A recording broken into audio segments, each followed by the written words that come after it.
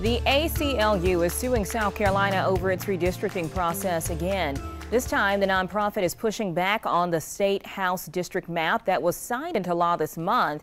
The suit claims the newly drawn district lines are illegally gerrymandered to serve lawmakers instead of the voters.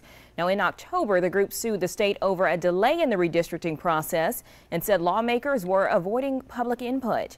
Throughout the redistricting process, lawmakers leading the effort have defended their work and say they held meetings across the state to try to get public input.